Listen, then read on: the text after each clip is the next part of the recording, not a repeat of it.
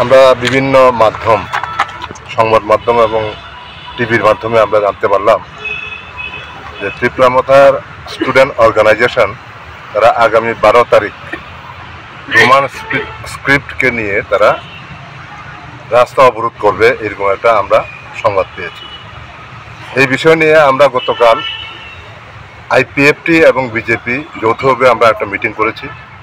Meeting করে আমরা মাননীয় মুখ্যমন্ত্রীজির সাথে দেখা করেছি এই বিষয় নিয়ে। এটা একটা সমস্যা।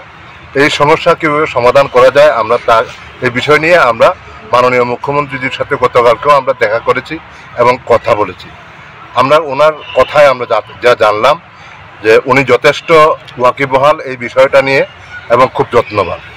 উনি চান না যে ছাত্রছাত্রীদের ভবিষ্যৎ খারাপ হোক উনি চান না। উনি খুবই এই এই বিষয় নিয়ে উনি চিন্তিত আছেন।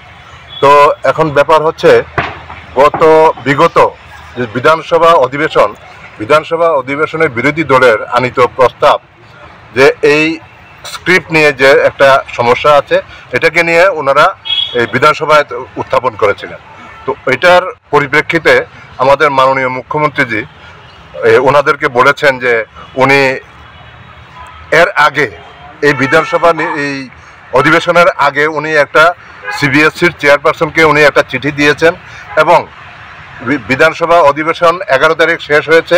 শেষ হওয়ার পর বারো তারিখ উনি আরেকটা চিঠি ওনাদের কথার পরিপ্রেক্ষিতে ওনায় উনি আরেকটা চিঠি দিয়েছেন সিবিএসসির চেয়ারম্যানকে। যাতে রোমান হরফ এবং বেঙ্গলি হরফ এই দুইটা অপশনেই যাতে কি কোন হরফ নিয়ে তারা পরীক্ষা দেবে। এটা নিয়ে উনি এই চেয়ারম্যানকে চিঠি দিয়েছেন তো এই চিঠির পরে আমরা মনে করি যে এখানে আমরা এই ধর্মঘট বা স্ট্রাইক করে, রাস্তা অবরোধ করে এই সমস্যার সমাধান করা যাবে না। আমার মনে হয় যারা আজকে এই আন্দোলন করতে যাচ্ছেন, আমার মনে হয় তারা যদি গোল টেবিলে বসে যে কোনো সমস্যার সমাধানের জন্য একমাত্র সমাধানের রাস্তা হচ্ছে আলোচনা। তো ওনারা যদি আলোচনায় বসেন তাহলে মনে হয় এটা ভালো হবে।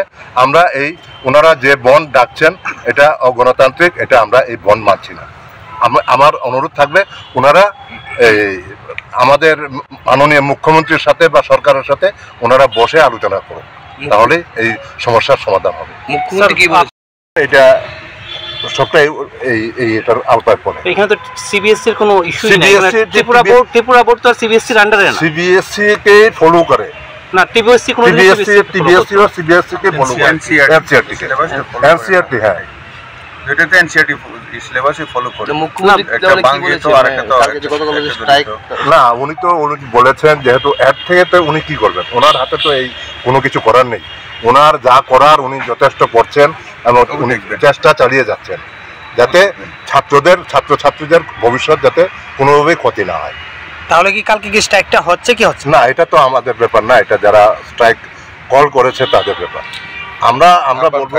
আমরা বলব তাদের সঙ্গে যোগাযোগ করেছেন? আমরা বলব আমরা বলব যে স্ট্রাইক না করে গোল টেবিলে বসার জন্য আমরা আপনাদের মাধ্যমে আমরা বলব।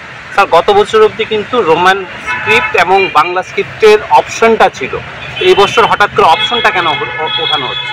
না অপশন আগে যে যেটা ছিল এখন এটাই আছে। না এখন তো নেই এটার জন্য না না না এটা এটা দেখেন এটা যে কোনো পত্রিকাতে এটা ভুল ভুল ইয়ে তথ্য হ্যাঁ। আমি সিবিএসসির কথা বলছি আমি সিবিএসসি তে যাচ্ছি না। ঠিক আছে বিষয়গুলিও মুখ্যমন্ত্রী যদি দেখছেন সবটাই করা যেতে পারে না মানে এটা নিয়ে কি বলবেন? টিবিএসসি রেজাল্ট তো এখন কি বলব আমরা? এখন তো আমরা তো বলছি যে এটা এভাবে গ- অগণতান্ত্রিকভাবে এটা করা ঠিক না। আমরা বলবো যে ওনারা স্ট্রাইক উঠ্র করুন আপনারা অ্যাপিল রাখছেন আমরা অ্যাপিল করছি ঠিক আছে দ্যাটস ওকে টিবিএসসি নিয়ে আপনারা কিছু কথা all of you are aware about the ongoing issues. Yesterday also uh, our delegate, BJP and IPFT delegate had interacted with Honorable Chief Minister and today also interacted about the ongoing issues and we had a conversation with Chief Minister.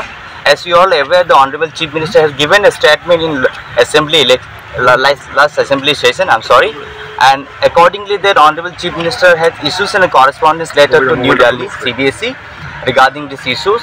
And today also Chief Minister has spoke with us and we are quite in hopeful about the issues. And now I would like to hand over to our Janjati Morcha State President to take over and express his views and what the conversation we had done. Thank you.